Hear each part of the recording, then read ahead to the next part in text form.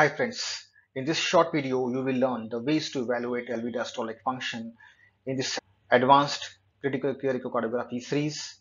I have already covered the echo assessment of LV systolic function in my previous video and in this video let's talk about LV diastolic function. Diastolic dysfunction means that the ventricles do not properly relax and become stiff meaning they cannot fill with the blood properly.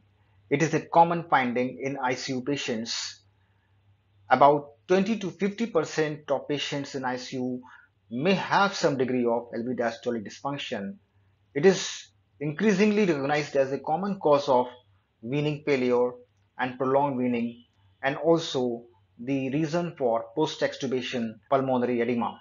Most common causes of LV diastolic dysfunction are acute myocardial ischemia and sepsis.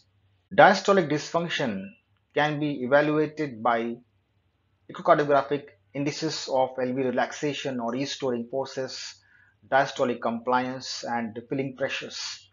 The fundamental mechanisms of diastolic dysfunction are impaired LV relaxation, loss of restoring forces, and increased diastolic stiffness. And as a compensatory mechanism to maintain the cardiac output, the LA pressure increases. This of LV relaxation or restoring forces. LV relaxation and restoring forces may be evaluated by measuring E prime that is early diastolic lengthening velocity. Impaired relaxation is manifested by low E prime that means less than 7 cm per second on tissue Doppler. Then we study the LV inflow pattern by assessing the E and A velocities. How to calculate E prime? The E prime velocity reflects the rate of LV relaxation during diastole. This is measured using tissue Doppler imaging. And there are two types of E prime, septal E prime and lateral E prime. So commonly we measure the septal E prime. Now normal septal E prime is about 8 to 10 centimeter per second. Now let's understand the LV filling process. During isovolumic relaxation, LV pressure falls rapidly and when it has declined below the atrial pressure, a pressure gradient is developed between the atrium and ventricle and the mitral valve opens and the ventricle fills rapidly giving rise to E velocity and during diastasis the left atrial and left ventricular pressure are almost uh, almost equal. And transmitral flow occurs at very low rate. Finally atrial contraction occurs which leads to the uh, a wave. Okay so next is a wave. So a velocity is due to atrial contraction in the later phase of diastolic filling both E and A are blood flow velocities and hence are assessed by the pulse wave Doppler. The sample volume is placed in the LV cavity between the tips of mitral valve leaflets. With transthoracic echocardiography, the flow of blood into the LV cavity on the apical four chamber view is towards the transducer. The E and A waves are positive deflections and normal E a ratio is 1.32 that means that E is always uh, E is most of the time bigger than A. Different mitral filling patterns are displayed in this figure. The pattern of impaired relaxation that is grade 1 diastolic dysfunction has low E and tall A.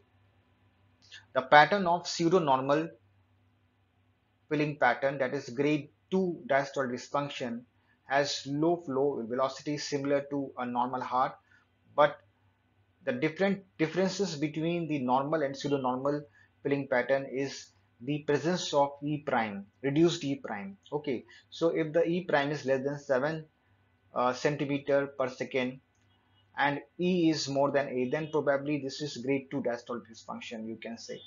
The pattern with tall E wave very tall E wave with the short uh, deceleration time is named as restrictive pattern or grade 3 diastolic dysfunction and this pattern, this restrictive pattern is associated with reduced LV diastolic compliance.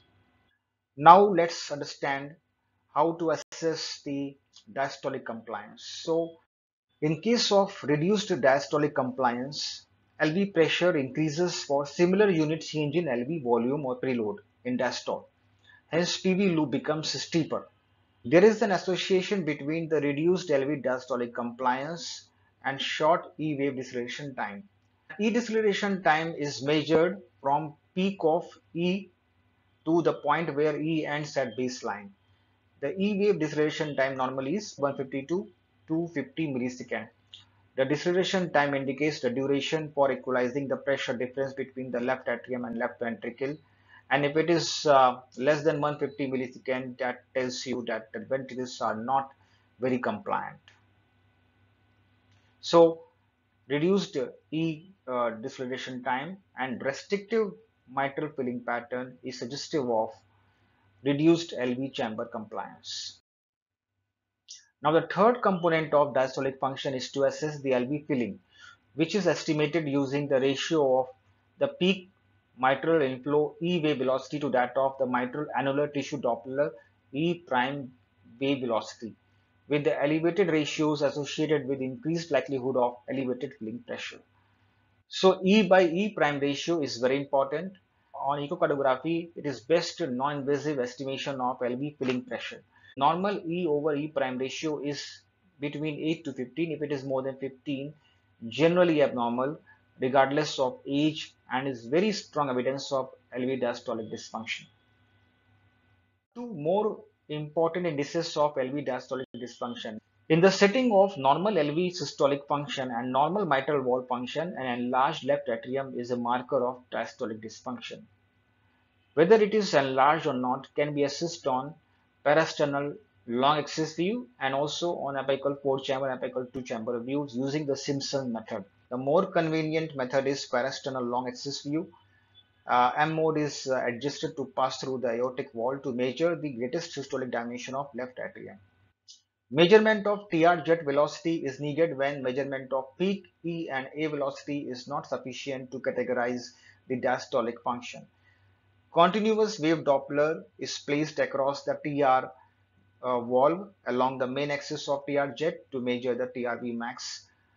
If TRV max is more than 2.8 meter per second, that is abnormal.